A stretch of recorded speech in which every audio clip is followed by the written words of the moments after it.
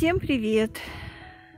Первые чесночные работы, первые весенние работы на чесночной грядке. Значит, первым делом я вам говорила, снимаем укрытие. У кого какое есть. У меня укрытие было лапник. Лапник. Вот, сняли. Прошел немножечко небольшой дождичок. Чеснок хорошо взошел. И первые работы на чесночной грядке это рыхление. Чеснок очень любит рыхление, когда его рыхлят. Ему становится легче дышать. И это не обязательно вот весной делать рыхление. А, рыхление надо делать в течение всего сезона.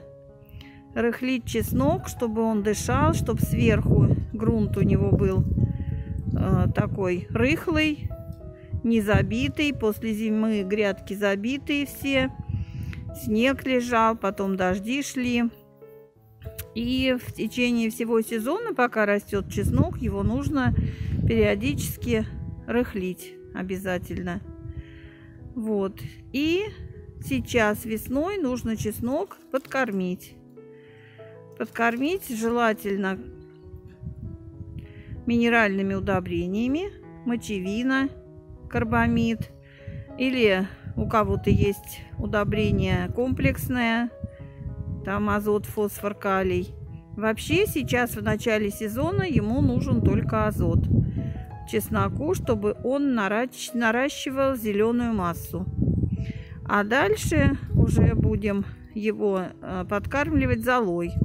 В золе есть и фосфор, и калий, чтобы чеснок наращивал уже головку, э, накапливал в себе все питательные вещества, чтобы хорошо хранился, чтобы был вкусный, полезный, сочный.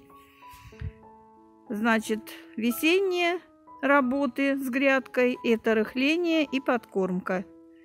А дальше будем то же самое – рыхлить, поливать, подкармливать. Значит, я подкормила мочевиной столовая ложка на 1 квадратный метр. Вот у меня грядка 90 э, сантиметров и 6 метров в длину. Я буквально 3-4 столовые ложки разбросала карбамида. Больше не надо. Если у вас земля сухая, не было дождей, у нас просто в Подмосковье шли дожди несколько дней. Поэтому я прям под дождик разбросала мочевину. И она сама уже вся растаяла и впиталась. Если земля сухая, то сначала ее нужно полить. Столовая ложка мочевины на 10 литров воды. Проливаем. И потом на следующий день рыхлим. Не сразу рыхлим, потому что земля будет сильно мокрая, а только на следующий день. Вот и весь уход. Всем спасибо. Подписывайтесь, ставьте лайки, пишите комментарии. Всем пока.